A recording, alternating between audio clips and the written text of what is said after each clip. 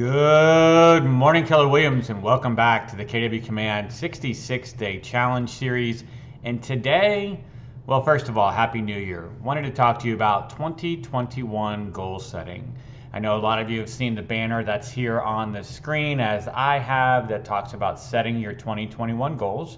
And hopefully, many of you have gone through the Kelle Guide in order to do that. Today, I wanted to talk about the number one area where I receive questions about goal setting, less about the setting and more about the reporting. So I've come into reporting. So this is our reports icon here on the left hand side, and I've clicked on goals. On this tracker across the top, most agents have no issues with determining how leads are, are you know calculated. I have leads coming into my database. I can either create a lead by creating a contact and marking it as a lead, or my Facebook ads are feeding me leads or things along those lines. Contacts pretty self-explanatory. I think a lot of people know about under contract, right? And then closed units as well. We're putting our opportunity dates inside of under contract and of course then when it closes. But it's these three in the middle that I get a lot of questions about. How is command tracking how many appointments I set, how many I keep, and how many agreements I'm getting signed? Well, that's also all happening inside of opportunities. So I'm going to take you there and kind of show you a little bit about opportunities and where the data points are for these three items that command is tracking. So if we come into opportunities, I'm just going to pick uh, one of my test opportunities here, and we're going to look at Donald Duck. So here is Donald's listing opportunity. Now, if I scroll down on the details portion of this opportunity, you're going to see some items in here where it says appointment scheduled, appointment date, agreement one. These are the three data points that are being tracked inside of the goals applet. So, appointment scheduled, that's not when you scheduled the appointment for. That's the date that you actually scheduled the appointment.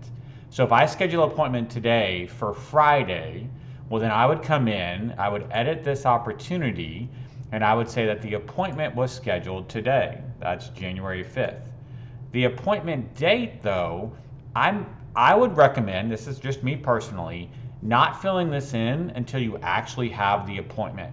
Because how often do we have an appointment set where they don't actually keep the appointment? For some reason they postpone or they hire the other guy or gal or they just decide they're not going to move, whatever it might be. But my recommendation is don't put this in until you actually get it, uh, you actually hold the appointment. So let's fast forward to Friday, maybe even Monday. The appointment was held on Friday. Great. I can now come in and say, yep, the appointment actually was held. It was held on Friday. So now that's January 8th. And we signed paperwork that night. Maybe we didn't. Maybe they needed the weekend to think about it. Now it's Monday or Tuesday, and we're now signing a pay- paperwork. This would be our listing agreement or our buyer's representation agreement or whatever it's called in your state, right? But this is the legal document that says we have the right to work together. Let's say they took the weekend to think about it and they were ready to sign on Monday.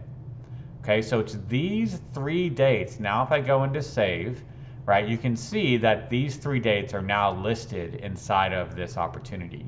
Now, if we go to goals, I'm not 100% certain that it updates automatically. I think this updates every 24 hours. And yet, by tomorrow, I should see appointments set go to one, kept go to one, agreements go to one, because I have filled in that information on the opportunity. So it's important that, again, I have a lot of agents that I work with that aren't building out the opportunity until they need to do paperwork. Well, if that's the case, at least go back and fill in when did you sign the agreement? When was the appointment held? And then, if you can remember, and this is oftentimes the most difficult part, when did you actually set the appointment, right? What day did they say, yeah, we're, we're good with meeting, we'll meet next week? So, this would be the day they said, yes, they're okay with meeting. Worst case scenario, put appointment set and kept as the same date if you have to.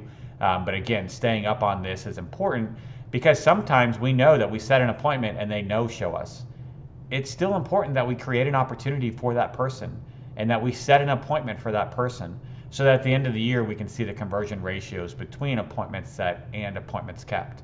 It's also important that we create opportunities for people that don't sign an agreement for us. Why? That's still an appointment kept, right? We said it, we kept it, we just didn't get the right to work with them. I would still build out that opportunity.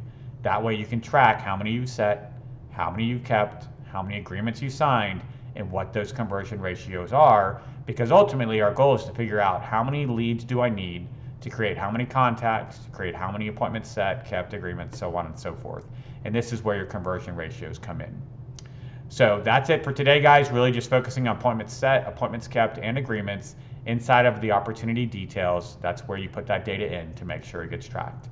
Hope everyone is having a great start to 2021. And as always, I'll look forward to talking to you again real soon.